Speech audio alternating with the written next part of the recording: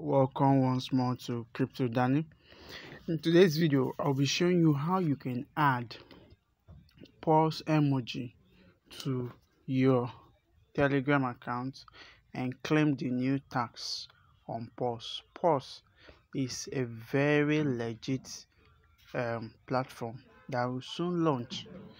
Yes just like dogs. There are so there are not so many tax on it to be carried out but more of what it requires is referrals.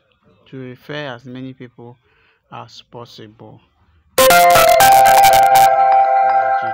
And so in this video i'm going to show you how you can do that. So we're going to start. Click on start. All right so what we need to do is we'll copy this we'll copy this.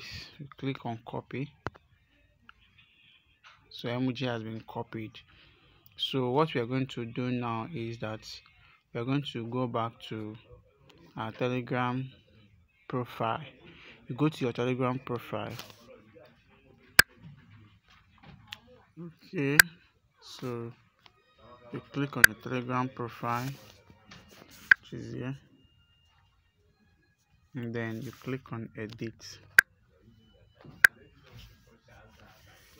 All right so i'll delete this um, tomato emoji.